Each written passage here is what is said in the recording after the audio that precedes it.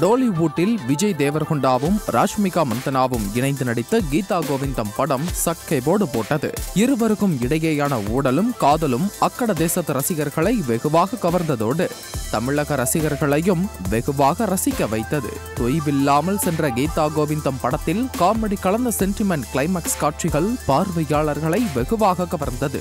கீதா கோவிந்தம் படத்தை தொடர்ந்து இருவரும் டேர் காம்ரேட் படத்திலும் இணைந்து நடித்தனர். இருவரது கெமிஸ்ட்ரி டோலிவுட் ரசிகர்களை வெகுவாக கவர்ந்த நிலையில் இருவரும் டேட்டிங்கில் ஈடுபட்டு வருவதாக அரசல் புரசலாக செய்தி பரவியது. இதனை நிரூபிப்பது போல் இருவரும் இணைந்து ஓய்வுக்காக வெளிநாட்டிற்கு சென்ற புகைப்படங்கள் வெளியாகின கடந்த தீபாவளி பண்டிகையை விஜய் தேவர்கொண்டாவின் ஹைதராபாத் இல்லத்தில் கொண்டாடி மகிழ்ந்தார் ராஷ்மிகா மந்தனா.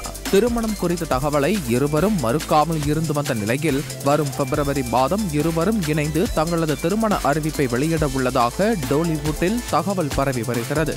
இதனால் இருவரின் அபிமான ரசிகர்களும் திருமணம் குறித்த அறிவிப்பு எப்போது வரும் என காத்திருக்கின்றனர். சமீபத்தில் ராஷ்மிகா மந்தனா நடித்த அனிமல் திரைப்படம் தொள்ளாயிரம் கோடி ரூபாய் வருவாயை ஈட்டியது. இதன் மூலம் தனது சம்பளத்தையும் கணிசமாக உயர்த்தியுள்ளார் ராஷ்மிகா மந்தனா. தற்போது அல்லு அர்ஜுனுடன் இணைந்து புஷ்பா தி ரூல் படத்திலும் rainbow the girl front Chhaava ஆகிய படங்களிலும் நடித்து வருகிறார். விஜய் தேவர்கொண்டாவும் ஃபேமிலி ஸ்டார் மற்றும் இயக்குனர் கௌதம் தின்னனூரி இயக்கும் புதிய படம் ஒன்றிலும் நடித்து வருகிறார். இதனிடையே விஜய் தேவர்கொண்டாவும் ராஷ்மிகா மந்தனாவும் திருமணம் செய்து கொள்ளப் போவதாக பரவும் தகவல் ரசிகர்களிடையே மகிழ்ச்சியை ஏற்படுத்தியுள்ளது.